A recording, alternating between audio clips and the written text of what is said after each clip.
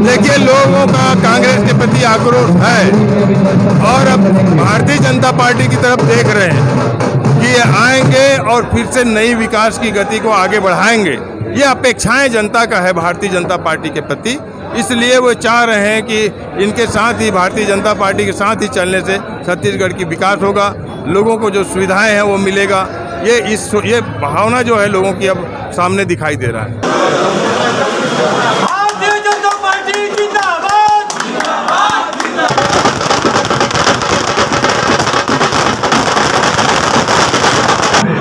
अगर आप सब लगातार निरंतर हम सब बांट बांट के काम के साथ काम करबो तो एक एक दरवाज़ा तक हम पहुँच सकत था यही मैं निवेदन और प्रार्थना आप सबसे करत हूँ। कहा कि हमारे नेता मन बोलते हमारे कार्यकर्ता साथी मन बोलते कि वो जीते तो चुनाव जीते वो जीते तो चुनाव जीते। वो जीते तो चुनाव जीते।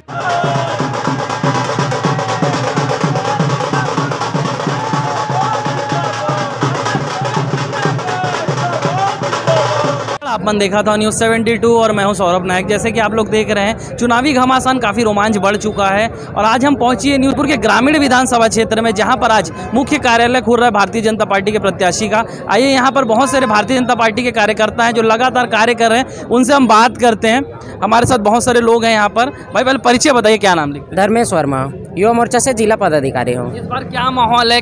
आप लोग लगातार जनसंपर्क कर रहे हैं क्या कह रही है जनता इस बार रायपुर ग्रामीण की? परिवर्तन तय है इस बार रायपुर ग्रामीण में, क्योंकि जनता 10 साल में त्रस्त हो चुकी है। इनके झूठे वादों से, झूठे गलत कामों से जनता पूरी तरीके से त्रस्त हो चुकी है और इस बार लिखित 100 परसेंट रायपुर ग्रामीण में भाजपा का विधायक बन रहे हैं। जैसे कि आप लोग जानते हैं कि कांग्रेसी जो हमारा विधायक है, वो पहले से बहुत चतुर और बहुत सियाना है। वो खुद ही वीडियो बनाता है, खुद ही लोगों को डालता है और हमारे लोगों का भी फ़ोटो डाल के कंफ्यूज करता है।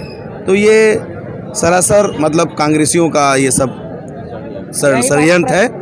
रही बात प्रत्याशी के विरोध की बात तो आप आइए गंगानगर में। जिस जगह में एक पोल में दस आ, वो वो लगे हुए हैं घर के मीटर लगे हुए हैं। आप उस एरिया में गए जाके देखेंगे ना तो वहाँ की महिलाएँ पुरजोर विधा, इस विधायक के पुत्र का विरोध कर रहे हैं कि एक लकड़ी के विरोध हमारे पास वीडियो भी है। पुरजोर विरोध उस विधायक पुत्र का हो रहा है। भाजपा प्रत्याशी का नहीं वो तो छल कपट के साथ में गलत फेक वीडियो बना के ऐसा षड्यंत्र रचा जा रहा है। कांग्रेस कहती है भैया कि ये रायपुर ग्रामीण उनका अभेद किला है। इस अभेद किला के लिए क्या खास रणनीति है इस बार भारतीय जनता पार्टी रणनीति है सर क्योंकि हम चाहते हैं जैसे उनका अवैध काम चल रहा है। दारू जैसे बंद का वादा हुआ था साइकिल में खुद ही घूमे थे लेकिन दारू भट्टी बंद नहीं हुआ। गुंडा राज चला रहे हैं। जगह जगह अवैध शराब बिक्री हो रही है है ना? मारपीट चाकूबाजी हो रही है। अभी उरपुरा में मर्डर हुआ है।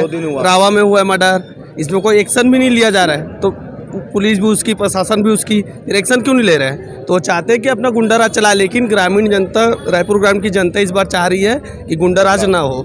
वो बदलाव ही चाह रही है। कोई एक्शन नहीं देखिए चूँकि छत्तीसगढ़ एक बहुत शांति प्रिय प्रदेश है और यहाँ रायपुर ग्रामीण चूँकि इंडस्ट्रियल एरिया है और यहाँ के विधायकों के द्वारा अपराधियों को संरक्षण दिया जाता है अवैध रूप से गांजा दारू या चरस बोले हर तरह का यहाँ नशा होता है जिसके चलते अपराध का एक गढ़ बन चुका है। और यहाँ की जनता ने अब पूरा ठान लिया है कि इस बार परिवारवाद को खत्म करके हमारे सम्मानी मोतीलाल साहू जी को विजय बनाएँगे। जोगी कांग्रेस के ओम प्रकाश देवांगन जी भाजपा में आए कितनी मजबूती मिलेगी इस बार भारतीय जनता पार्टी को? बहुत अच्छा मज़बूत मिलेगा। एक तरफा बिरगांव का माहौल पूरा एक तरफा हो गया है बीजेपी के पक्ष में और उसका फुल लाभ मिलेगा हमारे कमल छाप जीतेगा।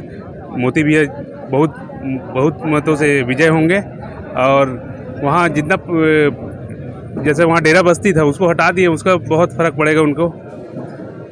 पूरा बिहार साथ में है ओम प्रकाश देवांगन बिहार साथ में सब बीजेपी को ही वोट करेंगे उन लोग सब।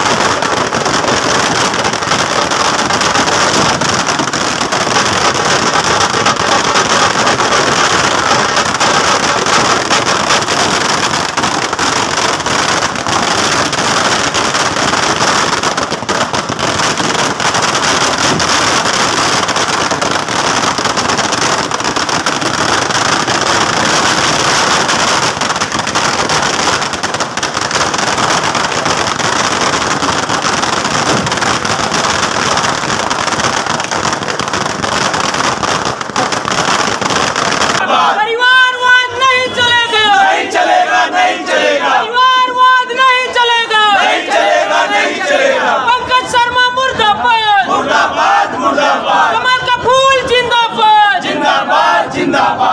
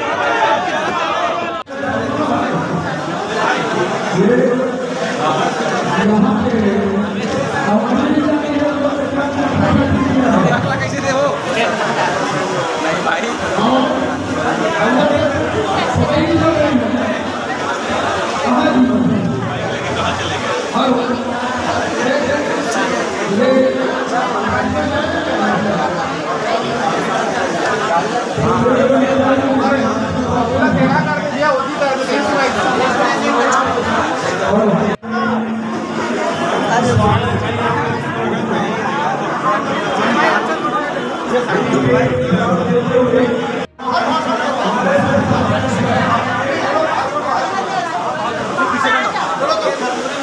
जनता पार्टी जिंदाबाद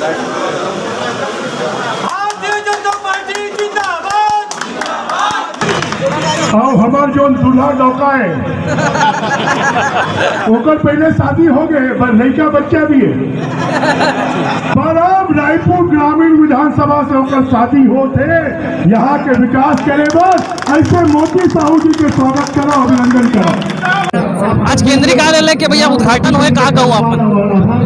आपने देखा, यहाँ पे आपने शूटिंग भी किया है। जो उत्साह कार्यकर्ताओं में देखने को मिल रहा है। और सभी वरिष्ठ नेता आशीर्वाद देने यहाँ पे पहुँचे। माननीय मोहन अग्रवाल जी पहुँचे, माननीय सुनील सोनी जी पहुँचे, हमारे वरिष्ठ नेता राम प्रताप जी पहुँचे, हमारे अन्य जो राज्यों से हमारे वरिष्ठ नेतागण यहाँ आए, हम सबको मार्गदर्शन देने के लिए वो सभी लोग उपस्थित रहे। हमारे चुनाव के संचालक पूर्व विधायक नंद कुमार साहू जी रहे, संयोजक हमारे लीलाधर चंद्राकर जी रहे, प्रभारी भी हमारे उपस्थित रहे, सुभाष तिवारी जी, ऐसे सभी मंडल के हमारे पदाधिकारी, वरिष्ठ हमारे नेतागण, कार्यकर्ता यहाँ पे उपस्थित रहे और सबने मिल करके जो आज राष्ट्रीय अध्यक्ष जी आए थे, जो मार्गदर्शन दिए हैं, उनके साथ मिल करके एक अच्छा नेतृत्व करके यहाँ रायपुर ग्रामीण विधानसभा में कमल खिलाने का संकल्प लिए हैं और उसमें हम सब आगे बढ़ रहे हैं उस दिशा में निश्चित तौर पर रायपुर ग्रामीण में कमल खिलेगा। भैया आप जहाँ भी जा रहे हैं जन सैलाब उमड़ पड़ रहा है आपके साथ उसे लेकर क्या कहेंगे? देखिए लोगों का कांग्रेस के प्रति आक्रोश है और अब भारतीय जनता पार्टी की तरफ़ देख रहे हैं कि आएँगे और फिर से नई विकास की गति को आगे बढ़ाएँगे। ये अपेक्षाएँ जनता का है भारतीय जनता पार्टी के प्रति। इसलिए वो चाह रहे हैं कि इनके साथ ही भारतीय जनता पार्टी के साथ ही चलने से छत्तीसगढ़ की विकास होगा लोगों को जो सुविधाएँ हैं वो मिलेगा। ये इस ये भावना जो है लोगों की अब सामने दिखाई दे रहा है। भैया इस बार मुद्दे क्या रहेंगे? प्रमुख मुद्दे रायपुर ग्रामीण विधानसभा के कांग्रेस ही अपने आप में एक मुद्दा है। जो भ्रष्टाचार किया है और जो कानून व्यवस्था यहाँ समाप्त तो हो चुका है विकास जरा भी कुछ भी एक ढेला नहीं हुआ है।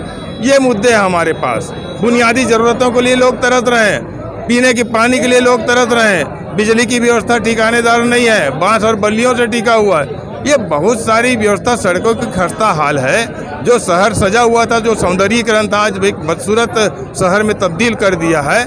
बदनाम कर दिया है इस रायपुर शहर को। ये बहुत सारी विषय हैं जिससे लोग जो है परेशान है। लोगों की शांति व्यवस्था छीन चुका है।